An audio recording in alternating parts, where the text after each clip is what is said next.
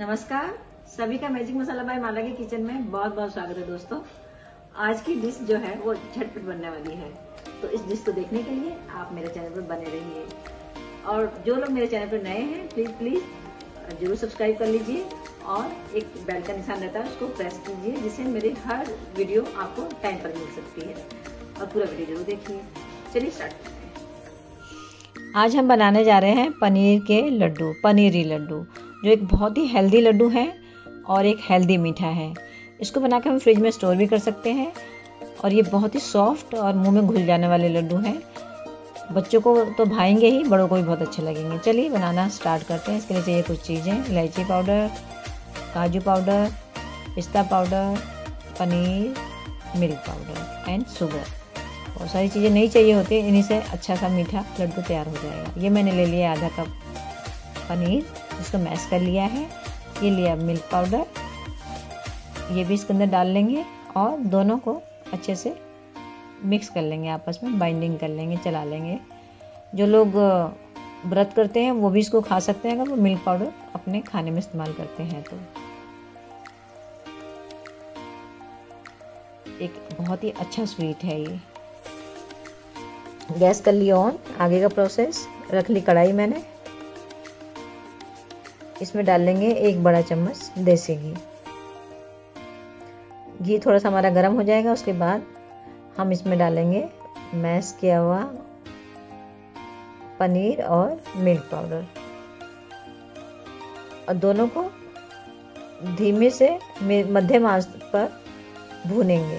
बहुत ज़्यादा रेड नहीं करना, हल्का सा हमने इसको गोल्डन करना है। तो ये मैंने सारा मिक्सचर इसके अंदर डाल दिया।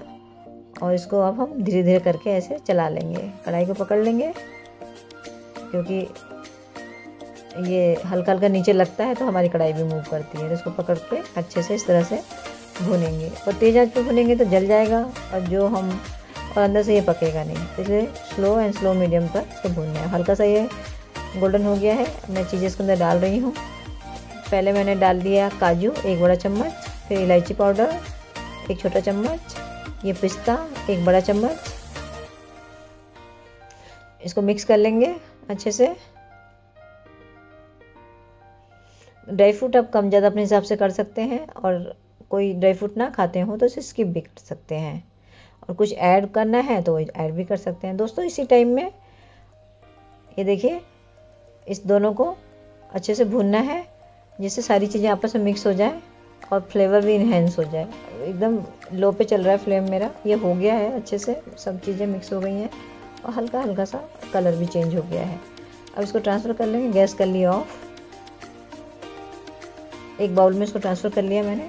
ये अभी काफ़ी गर्म है। तो इसमें हम शुगर पाउडर नहीं मिलाएँगे। हल्का सा इसको ठंडा होने देंगे। वरना ये लिक्विडी टाइप हो जाएगा। तो हल्का ठंडा हो जाएगा। तो ये हम दो बड़े चम्मच शुगर पाउडर मिलाएँगे। अगर आप ज़्यादा मीठा खाते हैं तो तीन बड़े चम्मच भी कर सकते हैं। हल्का ठंडा हो गया। अब डाल लेंगे ये दो बड़े चम्मच शुगर पाउडर चीनी को पीस लिया है। इसमें आप भूरा भी डाल सकते हैं। इस तरह से ये देखिए चलाते हुए। मिश्री पाउडर भी डाल सकते हैं, अगर आप और भी हेल्दी खाना चाहते हैं तो। ये इस तरह से चलाएँगे। अभी थोड़ा सा गर्म था। अब छूने लायक हो गया है तो शुगर भी अच्छे से मिक्स हो गया है। तो सारी चीज़ें आपस में अच्छे से मिक्स हो के एक डो जैसा बन गया, आटे जैसा बन गया है ये। बस अब ये नॉर्मल सा गर्म है। अब इस, इतने ही गर्म टेम्परेचर पर हम जिसको हम छू सकें, हाथों में हल्का सा ऑयल लगा लेंगे जिससे लड्डू अच्छे से चिकने हो गए बनेंगे। तो और लड्डू का आकार छोटा बड़ा अपने हिसाब से हम कर सकते हैं। तो ये देखिए, ऐसे गोल करते हुए लड्डू बना लेंगे। सारे डो के इस हिसाब से लड्डू बनाने हैं।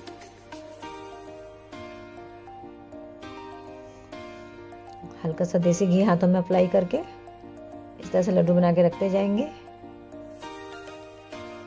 कभी आपके घर में पार्टी हो रही हो, कुछ या कोई और ओकेशन हो जिसमें मीठा खाने का है तो आप इसको बना के अपने मेहमानों को खिला सकते हैं, उन्हें हैरान कर सकते हैं कि भाई देखो कितना अच्छा मीठा है। चलिए सारे लड्डू तैयार कर लिए मैंने और उसको कर लिया गार्निश इसमें मैंने किया है चोको चिप से गार्निश अगर आप व्रत के लिए बना रहे हैं तो इसको स्किप कर दें। और अगर आपको चॉकलेट लड्डू बनाने हैं तो बैटर को भूनते टाइम ही जो मिक्सचर भुना था उसमें आप चॉकलेट पाउडर डाल सकते हैं। तब ये चॉकलेट लड्डू तैयार हो जाएँगे बच्चों के लिए। ये देखिए, कितने सॉफ्ट, मुँह में घुल जाने वाले ये पनीरी लड्डू। आप बनाइए, अपने कमेंट मेरे साथ शेयर कीजिए, किस तरह से ये लड्डू आपको लगे, अच्छे लगे तो लाइक कीजिए, अच्छे ना लगे तो डिसलाइक कीजिए। पर अपने रिस्पॉन्स ज़रूर दीजिए। और आगे मैं आपके लिए क्या बना सकती हूँ? प्लीज़ प्लीज़ ज़रूर बताइए। जो लोगों ने अभी मेरा चैनल सब्सक्राइब नहीं किया प्लीज़ प्लीज़ सब्सक्राइब कर लीजिए। शेयर करना बिल्कुल मत भूलिए। बेल आइकन ज़रूर प्रेस कीजिए, जिससे हर वीडियो की नोटिफिकेशन आपको टाइम पर मिल सके। फिर मिलती हूँ नई वीडियो के साथ। नमस्कार।